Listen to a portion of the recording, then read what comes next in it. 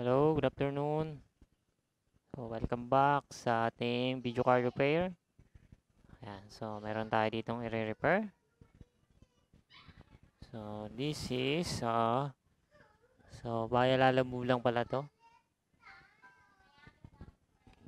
Ah, lagyan na lang natin ay Taguig City. Okay, so ang problem nito ay ano siya? So, Gigabyte GTX 1660 to 1660 yeah. I think uh, 6 GB hindi ako nagkakamali. So ang nakalagay dito ay yeah 6 GB so this is 6 GB ay super init ngayong panahon na to Ayan. So, ito siya guys. Ah, ayan. So, ito ang problema nito. So, show na lang natin sa cellphone. So, garbage display siya guys. Ganito yung tsura. Ayan.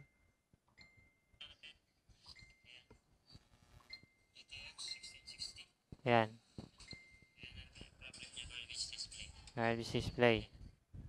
Tapos, ang error niya, ito. So, ang error niya ay bank A0. Yan. Ah, A0. So, yan yung issue niya. So, yan yung ating i-repair. Yan, as of today. So, ito. Sira na rin to. So, galing daw ito sa, ano, pati yung, ano, sira. Ayan. Galing daw sa gumagawa ng cellphone. Yan. So, hindi ko alam kung anong nangyari. Nabagsak, pinilit, hindi marunong magawa.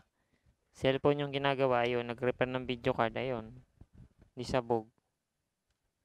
Sabog yung video card.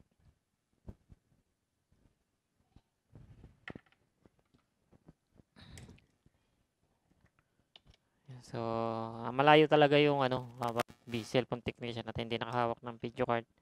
Kaya ganyan yun na lang nangyayari uh, the damage na mamalmaan. So, I think nag-ano rin to, nagpalit ng thermal pad yung may-ari. So, possible uh, baka na-damage si Ang problem nito ay memory. Yan. Possible kung nagpalit ng thermal pad yung may-ari. Ayan, kasi bago na siya. Ayan. Uh, yung thermal pad na ginamit, ayan siya.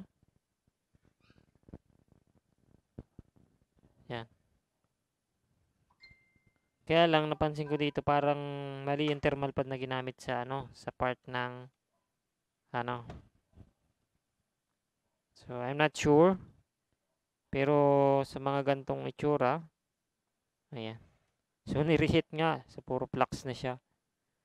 Ayan, yung dito, tama naman dito, 1 1 mm. Dito yata I'm not sure kung kasi parang hindi siya man lang dumikit dito eh. Ayan. So, mumurahin lang yung thermal pad yata ang binili. So, hindi ko alam. Ayan. Nasira na yung ano eh. Yung posisyon ng heatsink. Ayan. So, ito. Nilagyan din ng thermal pad. Ito. Tanggalin natin to. Ayan. Nilagay natin din sa kabila.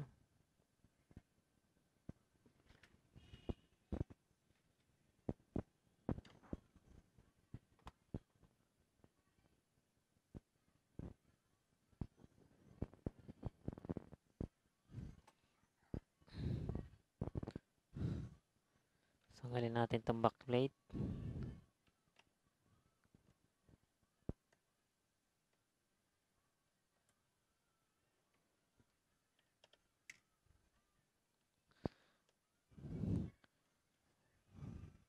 So, nireheat ito. Ito may mga plugs. Napansin nyo.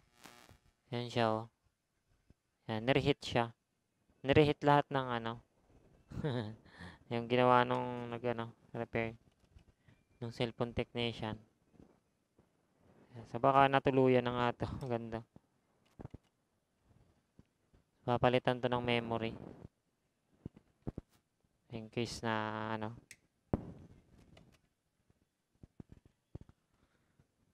So, sira yung bank A, 0. Yan. Yan yung papalitan natin.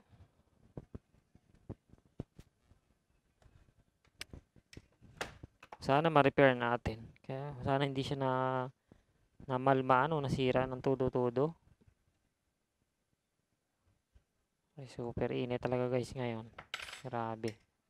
Pawis na pawis ako dito.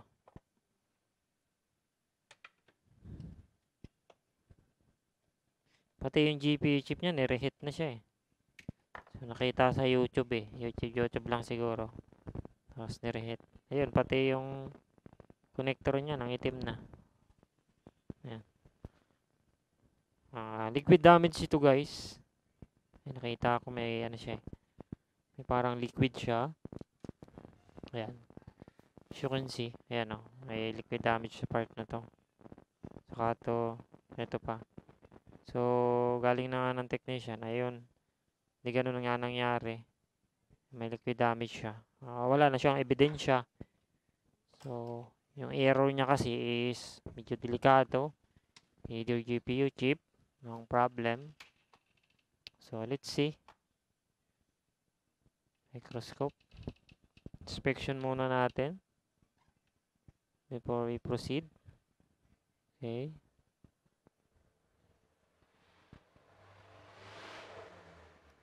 Ayan, malakit, malagkit-lagkit pa ang flux. So, ito, liquid, I think ano siya eh, liquid siya, yung ganyan. So, pati ito, meron na rin po siyang flux ito. Siguro baka tinanggal niya na to. Uh, so, hindi ko alam kung anong nangyari. Baka nabawasan na ng pyesa. So, hirap pa naman ito pag ganito. Mga galing sa technician. Sa halip na mura yung cost, ay lumalaki yung cost. Ayun, pati ito ginalaw rin. Sa this, ano niya, itong IC na to. Yung linggit na IC. Tabingin na siya. Ayan, nabago na lahat. Sabi, nung may-ari sa cellphone technician lang. Pero bakit ang dami niyang nagalaw? So, ito ay tinanggal na rin. Ayan o. Oh. Kung may natanggal dito ang pyesa, edi wala na. Hindi ko na alam mangyayari dito na susunod. So, burado na yung evidence kasi nga eh, na-execute na ng repair.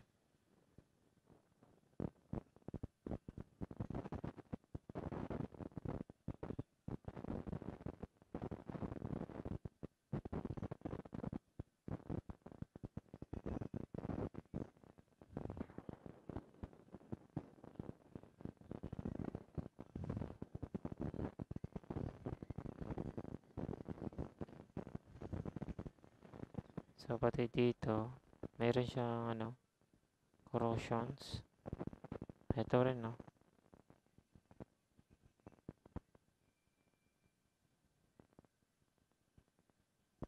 Pati yung capacitor yata to. O, tinanggal din yung capacitor. So, anong talaga to? Parang, ayan, no. Uh, sobra nang namalman din ito sa repair process. So, naligo na rin siya talaga sa ano. Super toasted na siya.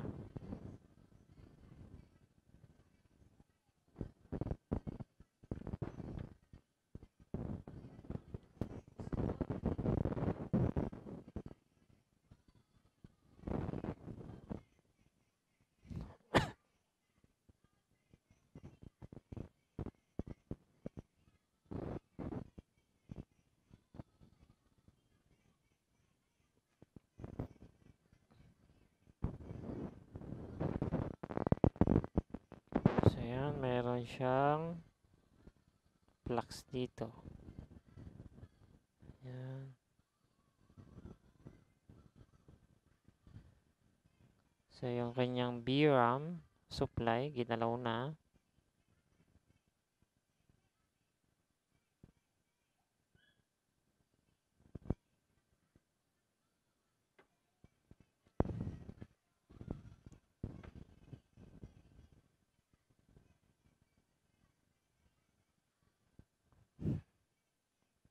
Ito yung tatanggalin natin, itong isa na to. So, yan yung may, ay, ito pala ito, sa baba. Kasi A1, A0.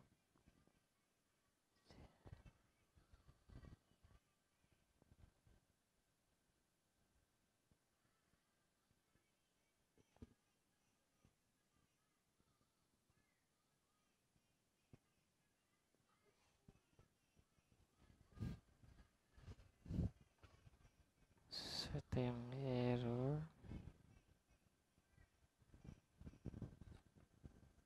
Papalitan D9. So, ang ano niya? So, ang number niya ay 9AA77. So, D9WCR. So, papalitan natin to. Itong isa na to, guys. Yan. Ito yung papalitan natin. Kasi andito yung error eh, sa area na to.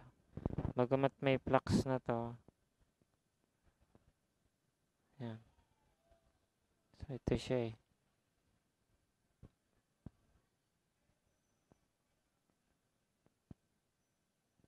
So, kailangan natin siyang palitan. Ayan.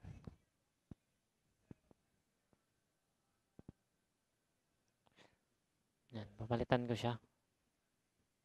Hanap lang muna tayo ng kaparehas. Yan, tapos palitan siya. Ah, D9 D9 WCR D9 WCR so, hanap muna ako saan kaya ako makakakuha niyan Micron. Ah, DDR6 siya eh. So, itong mga DDR6 ko dito, check natin.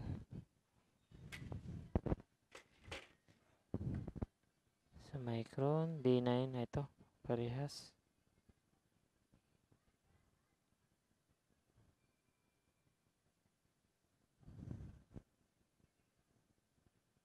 Kaya lang, ah, ito, eh, parang mga shorted to eh. So, check natin. I think mga shorted to eh.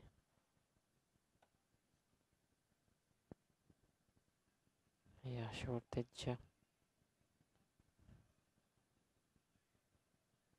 Shorted tong isa na to.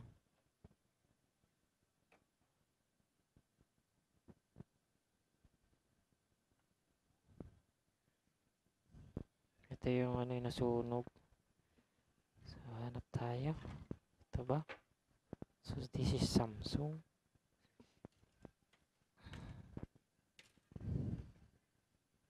Ayun lang.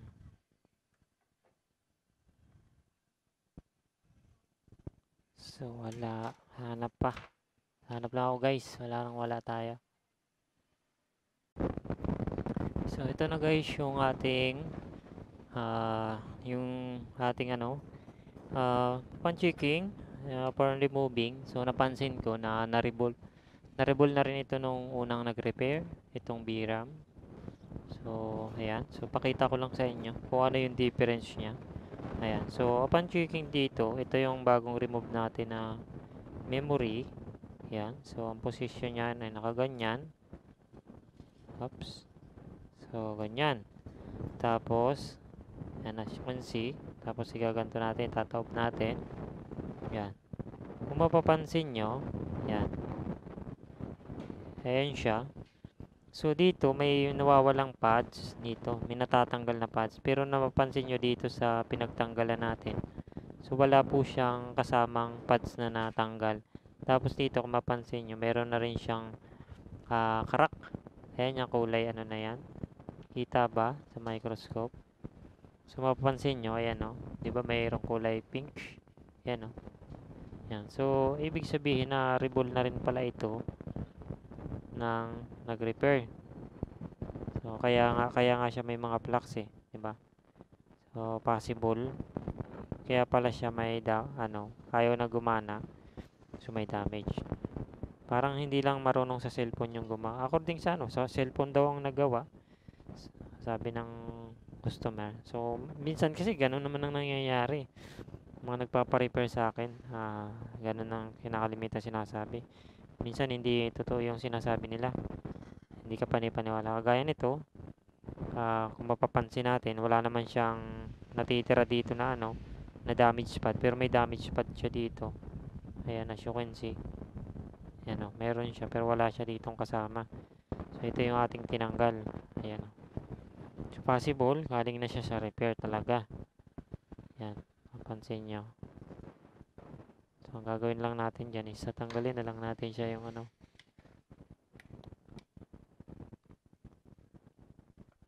Yung pads na na existing. So, tanggalin na natin yung mga balls. So, na-rebull na pala siya. Kaya kasi mapapansin mo lahat kasi may flux na siya eh. All time mo dito sa part na to. Ayan, dito sa likod. Mapapansin mo, ayan o, may flux dito. Ibig sabihin, ginalaw na kasi halos lahat. Tapos dito sa part na to, ayan o, yung IC na yon So, binungkal na siya. So, siguro may alam din sa pagre-repair ng video card yung naggumawa. Possible ganon. Ayan. Tapos ito, oh, bagong hinang na to isang part na to. Mapansin nyo, yung alignment na lang, hindi siya pantay, di ba? Kasi ginalaw din talaga siya. Ayan, mapapansin natin. Ayan, so, ayan o, yung may mga flux. Ayan o, ginalaw din siya, may flux. Parang tinanggal niya yung capacitors. Ah, siya nag-try siya dito. Tinaray niya sigurong palitan. Sa ito, tapos napansin ko pati dito, ang liit ng isang capacitor. Actually guys, hindi siya ganito. Mali yung pinalit na capacitor. So, possible. Ayan. So, ang dapat kasi, ang nakalagay guys ay ito. 270 and 80. So, hindi ko alam. Kasi meron guys ako dito na same nito. Yan. Ang dapat na nakalagay is not 100 UF. Kasi nakalagay dito 16 volt versus 270 87C. Yan, 16 volt. Yan, dapat ang nakalagay dyan, hindi ganyan. So, 100 lang kasi ang ginamit, samantalang dito, 270 UF siya. Ito ay 100 UF. So, ang layo ng diferensya. Oh. So, para possible, kaya nagkakaroon siya ng conflict dun sa memory. Ayan. So, wala, no choice. Dito tayo mag-focus sa ano. Dapat ganito ang itsura niya, guys. Oh, yan, oh. Yan, pare-parehas kasi sila eh. Yan, dapat ganito yung mga itsura niya. Pero ang nangyari kasi, nag-iba-iba eh. Yan. Mapapansin naman natin. Ayan oh, nag-iba. Ito parehas. Yan. Tapos, biglang nag-iba dito. Tang, lumingit yung isa. Yan. Naging kagkaroon ng anak na 100 UF. Ang layo ng diferensya. So, ayan. Ganyan talaga kapag galing na sa repair. Wala tayong magagawa. Kundi, magano tayo ng tira-tira So, subukan, pinal subukan natin tong palitan. Meron na ako ditong ni-ready na pamalit. Same brand. Uh, tingnan natin tong nawawala na to. Kung anong klase siya.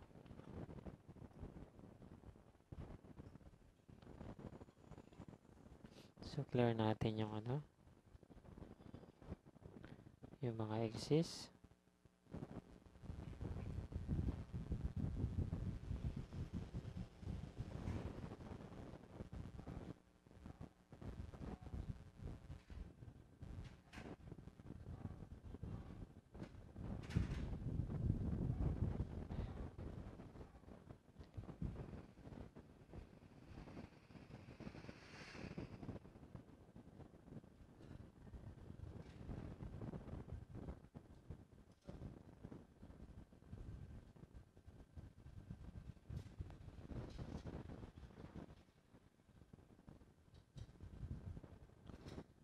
So, tingnan natin yung ano, yung paths dito kung siya ay uh, sira or may connections o walang connections. Ayan guys, sa so, chicken may connection siya. So, damage na siya nung naunang nag, ano, tumira. Siguro kaya siya no display. Ah, kaya siya ano, uh, garbage display. Yun yung naging issue. So, may crack pads dito guys. Yan. So, yan yung susubukan nating i-repair. Yan. Kaya siguro siya nag ano, nasira. Uh, na-over-over nung ano, tumira. Nasaan yung ating grinding? So may pang grinding tayo dito. Para maganda.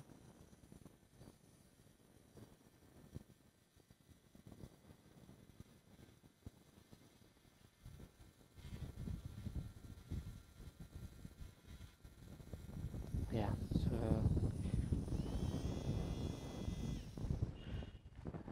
okay na yan. Kakapitan natin siya dyan.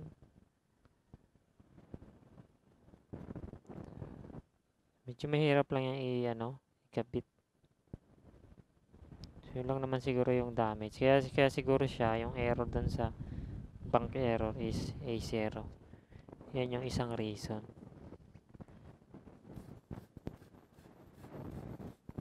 So, medyo mahirap lang itong ikabit kasi this is, uh, ano siya, masyado siyang malinggit.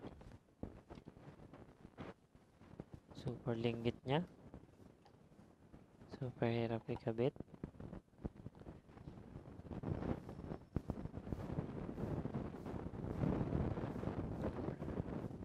At saka sobrang nipis niya. When it comes na magkakabit tayo ng andito. Hindi ko lang alam kung angat siya kapag ginamitan natin ng wire na Ayan, so uh, try natin to kung magkakaigi siya. Ito sa ganito kaliit.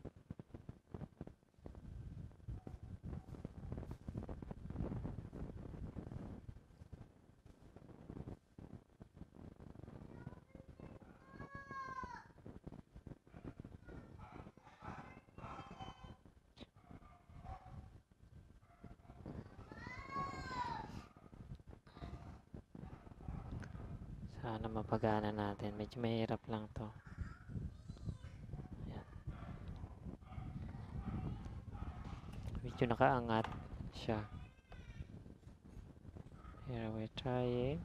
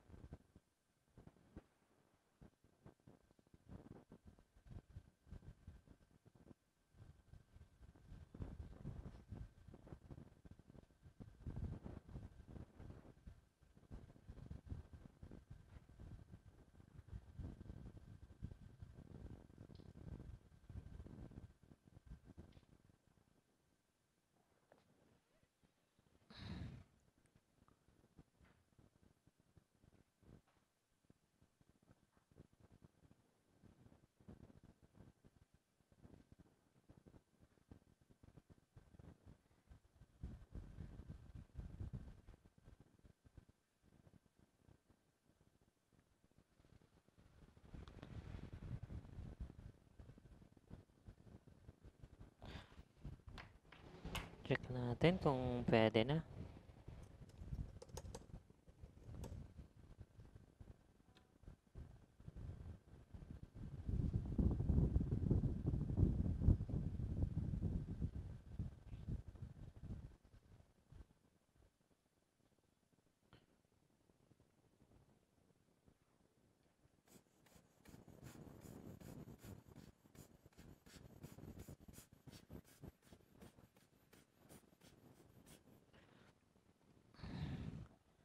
So, yan. I think okay na siya. Kakapit na yan kahit paano. Aha. Ang gagawin natin ay lalagyan natin siya ng mas.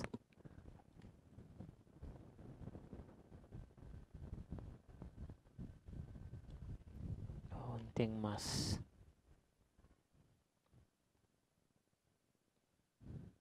Kasi karampot lang.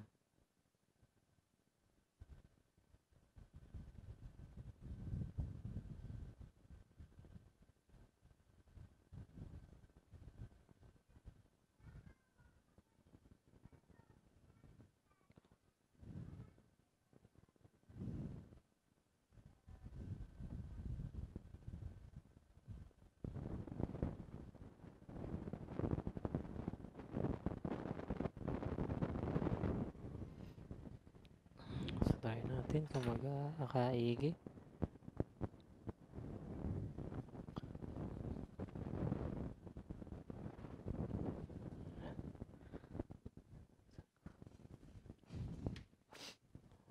Ating lights. UV light.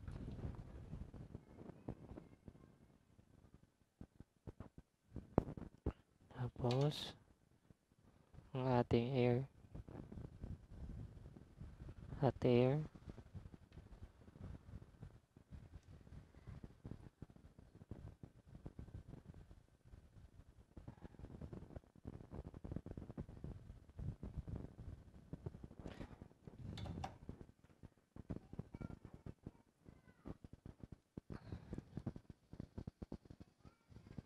Okay. A few minutes.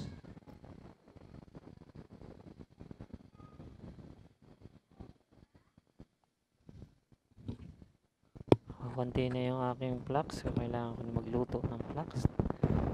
At magsalin. So, titingnan natin mamaya. Sana maging success ito. Okay na yan. Next.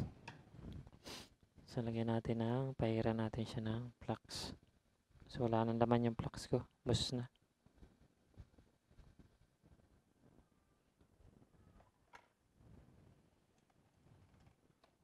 Ubus na yung aking flux.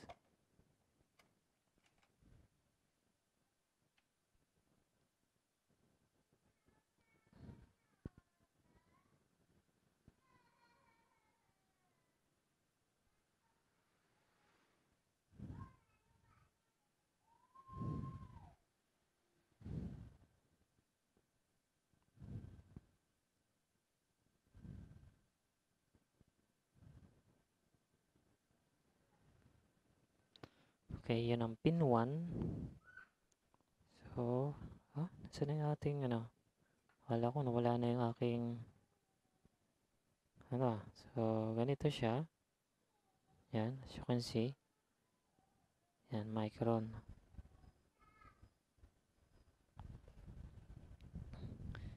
Micron yung ating gagamitin na memory kasi micron yung existing.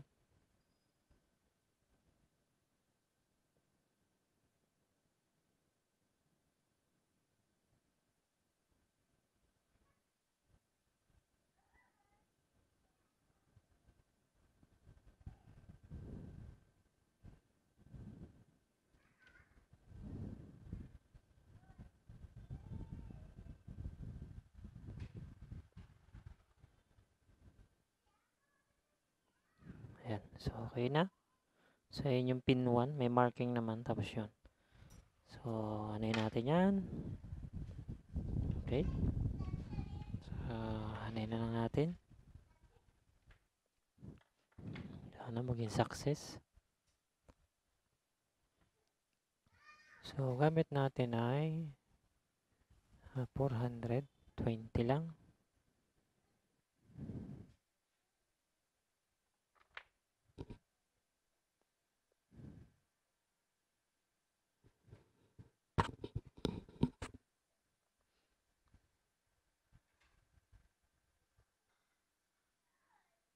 Mga 3 to 3 to 4 minutes.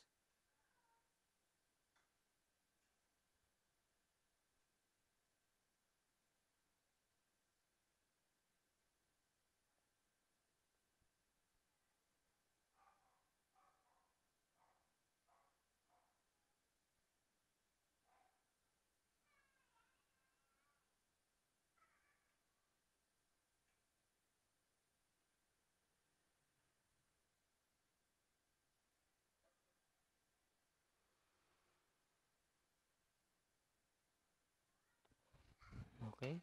So, let's see.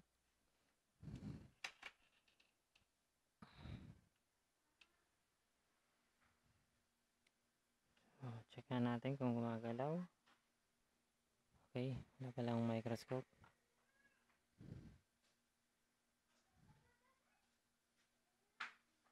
Yan, medyo hindi na siya gumagalaw. Okay, so re- re- reflow natin ng kaunti. Tapos pitik-pitikin natin para gumalaw-galaw ng kaunti.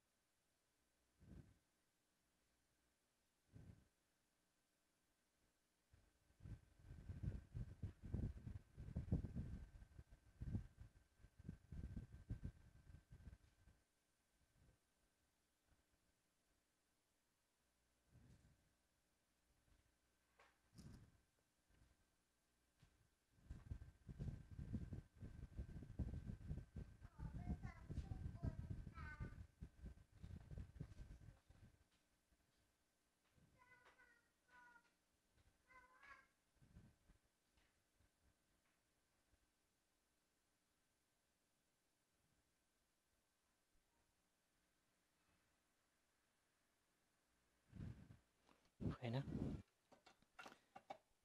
So, palamigin na lang natin siya. Ayan, tapos ito testing. So, palamigin na lang natin yan for testing.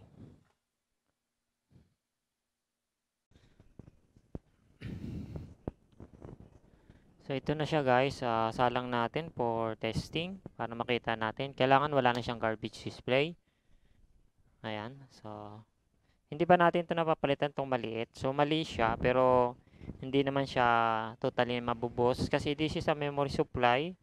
So, kailangan natin siyang palitan kasi delikado siya. Tama ba? O, tama. Tama. This is a 1.5 para sa memory. 1.3 to 1.5. Yan. Para dito yan. So, kailangan natin siyang palitan kasi dalawa yung ano, yung kanyang MOSFET para sa BRM. So, hindi siya recommended kasi this, ang original kasi nakalagay dito is 270 farad tapos 16 volts yan. So, ang pinalit niya is 16 volt in 100 farad. So, masyadong malayo. Medyo delikado. Uh, kasi memory yan. Signal yan. So, signal yan kailangan sa display. So, tatry natin siya kung may display na kung hindi na siya garbage display. So, may display naman po ito. So, check natin. So, yun lang yung pinalitan ko. Yung, pinalitan natin yung, ano, memory na isa. So, tanggal yung PCB. Uh, ah, PCB pad niya. So, not connected. So, siguro, hindi ko alam. Pinalitan niya tapos yan na nagpana. Siguro ganun. So, ganun siguro naging issue. Hindi niya nagawa ng paraan or ano. Or nag-ano siya, reflow. Kasi na-reflow niya, baka na-damage uh, naputol, kare-replow niya katsa. Susundot niya siguro. Kasi ano yan eh, pag nag-replow ka, tapos sinundot, pinapersa mo sundutin, diba, possible na puputol din yung pads. Kung overheated na siya, sa, na toasted na siya sa init, masyado mataas ang temperature na ginamit, so puputok siya, mapuputol talaga yung line ng pads ng ating VRAM. So testing natin siya, sana ba? Ito. So let's power on. So check natin kung kailangan wala na siyang garbage display. see, wala yata ang display. Okay, wala pang display. So, power off. So, check natin ang connection. Baka na isan nga natin. Ang ating HDMI yung gamit natin. HDMI. So, wala pa rin siyang display. Ah. So, baka kailangan natin siyang palitan ng capacitor. Pero I think may di-display yan kahit ano, 100 UF, then 170 yung kulang. So, tingnan natin. Kapag hindi siya nag-display, palitan natin yung capacitor. Pero kahit mag-display, palitan pa rin natin. Pero baka possible, mali kasi yung nilagay. Kasi yung pan naman niya, hindi naman siya design na ganun eh. Kasi may ganitong unit ako. Ayan. Same unit na ganito. Parehas po siya, ta height nitong ano. Sa kita naman, hininangan, di ba? hininangan. Nakita nyo sa una nating video. So, try ulit natin. So, buhay naman yung ating ano. Yung ating ano. So, pinatay ko lang yung ating tweezer na panghinang. Para hindi masyado malakas sa kuryente. Patayin natin yung iron. Okay. So, let's power on again. Bakit kaya siya walang display?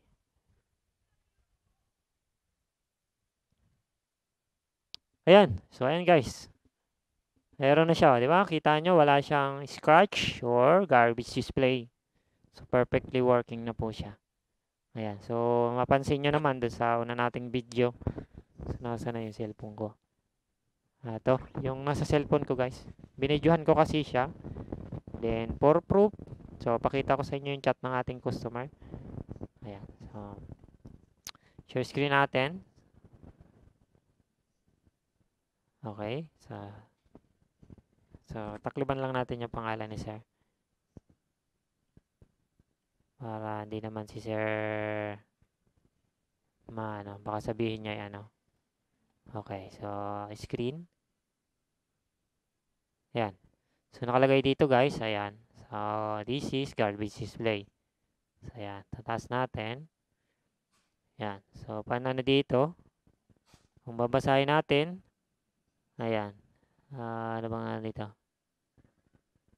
uh, ano na to Yung bracket, sira yung bracket ng pan. Yun, pinakailaman ng katrabaho ko, hindi siguro matanggal. Pina, pinersa, ah, kakainis. Eh, yun.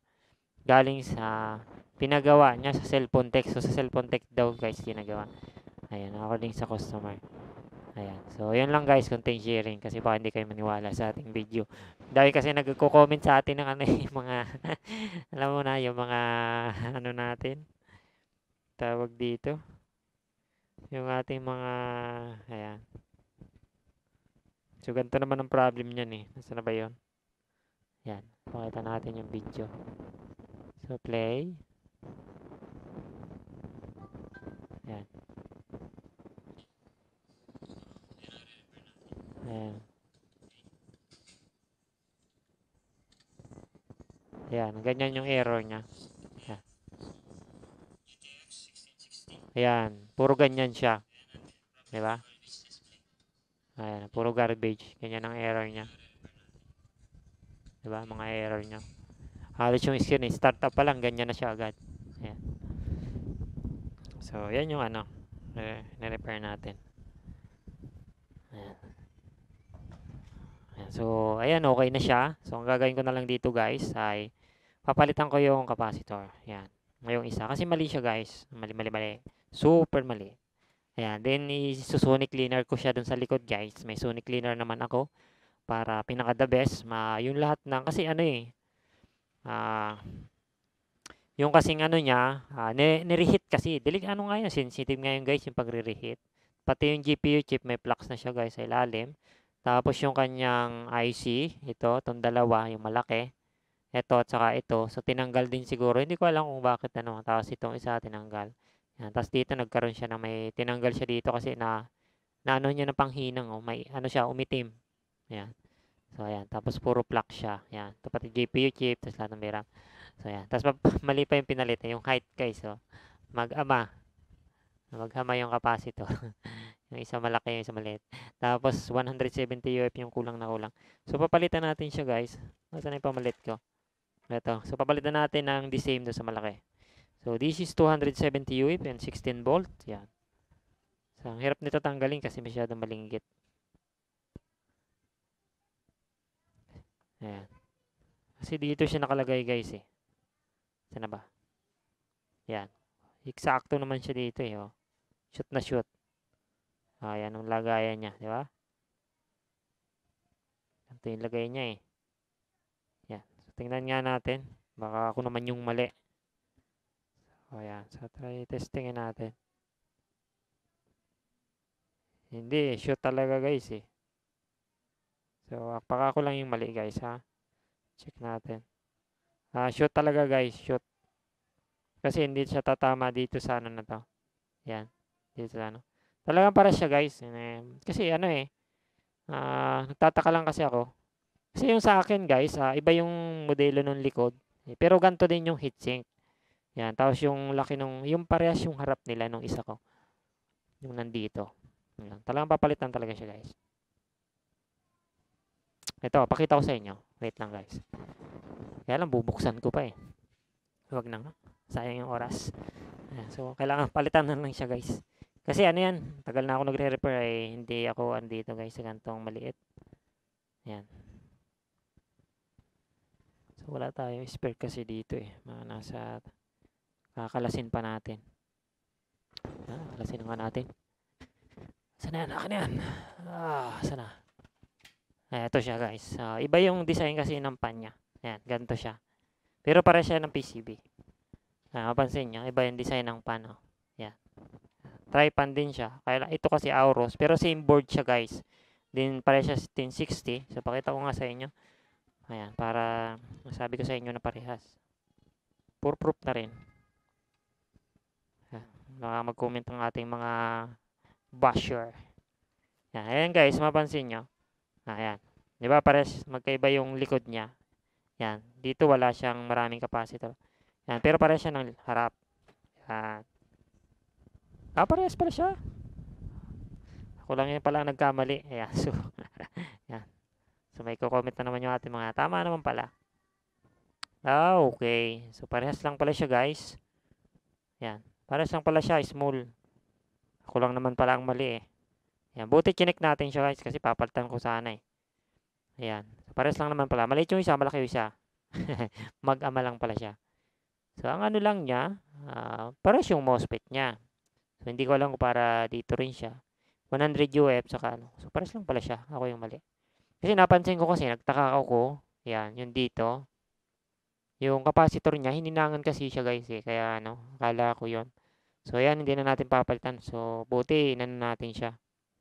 Chinik ko kasi papalitan ko sana ng 16 volt na yun, 270 UF.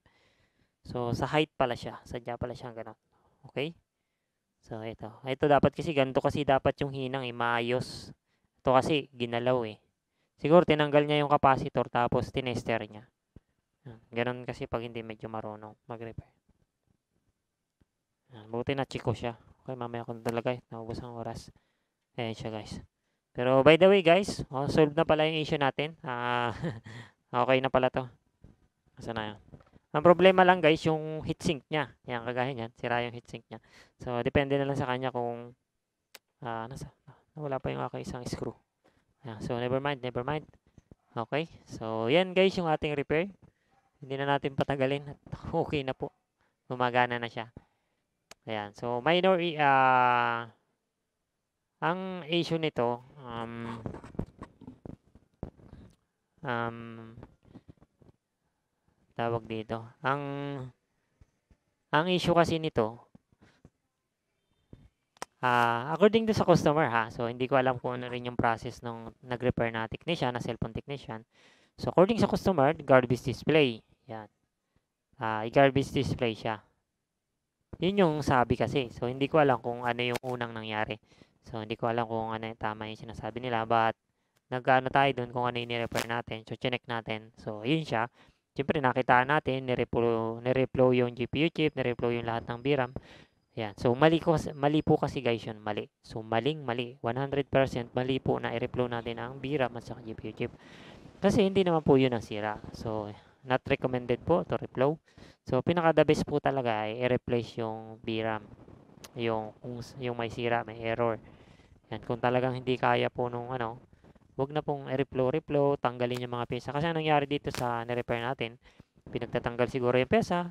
Yan, so hindi naman natin alam kung tinanggal, pero yung mga hinang kasi guys, may mga bakas siya ng hinang na ganun yung process na nangyari. So nakibo siya, nagalaw, ano, yung alignment ng capacitor, parts, yan. So nag-iba-iba siya. So yun yung maling process. So dapat talaga kung kapag hindi kaya, uh, dali padala sa marunong na ko, ano, video card expert talaga sa video card. So yan. Malimit ito guys sa mga binablog ko. Lagi na lang ganun galing sa technician, hindi nagawa. Yan. Ang sabi kasi po ng may-ari ng may-ari is uh, ah, GPU chip na daw po ang sira, sabi ng technician. Ayan. So nakakalungkot. Meron pa guys dito, isa pa, galing pa rin 'tong technician. Ito guys yung mga nakakaano dito eh, mga repair natin galing technician. So yung mga may-ari, tapos nagpapadala sa atin. Ayun. Ang ano kasi doon eh, kawawa yung customer, laki kasi ng ano, babayaran nila, mga ganyan. Gaya nito, baka hindi naman ganun dati. Na, yung nasira yung ano, PCB, buti na remedyohan ko pa siya. Ayun. Sayang, laki ng magagastos tuloy ng customer. Meron pa dito guys, uh, pinadala, yun ay gigabyte naman, 1050 Ti gigabyte yung single pan. Galing din yun sa technician. Yan guys, yung nakapag-live na tayo na sa Facebook. Galing din sa technician. GP chip to sira. Yan mga repair natin eh. Mga customer natin. Tapos ang daming nag inquire sa akin guys. Ang daming nag inquire na nagpapa-repair. Tapos, ngayon nakakahanap sila ng mura. Pupunta sila dun sa mura. Ngayon, pag bumabalik yun guys sa akin, yung mga customer na nag-chat sa akin before, sabi ko, eh, kaya sir ng technician mong nag-ano, pinag alam ko naman pinagkatiwalaan mo yan. Magagawa niya yun siya, tiwala lang. So, pinupush ko siya na gano'n. Ayan. Di, siyempre, pinupush natin. Eh, kasi minsan, kapag hindi kasi maayos kausap yung customer, hindi ko na siya nire-replyan masyado. Kasi, ano eh, uh, ganun na kasi. Siyempre, hindi sa atin siya nagpagawa din. Medyo iba siya manalita medyo may pag-apak siya na akala mo mas magaling sa technician. So, hindi ko kasi na ano yun. Ini-entertain masyado yung mga ganun. Yan. Kung talagang ano, so tinatanggap ko naman, na-accept ko naman yung para repair na kahit na pinagawa na sila ba.